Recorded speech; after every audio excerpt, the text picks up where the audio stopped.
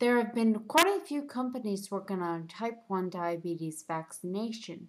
As well, there are also some companies that are working on beta cell regeneration or islet cell regeneration. There's also some companies working on safer insulins that in fact do not cause hypoglycemia but do in fact control blood sugars. There are also insulin companies that are working on longer acting insulins. It could work as, I think, up to like 120 days. It's like four months of insulin treatment, one shot.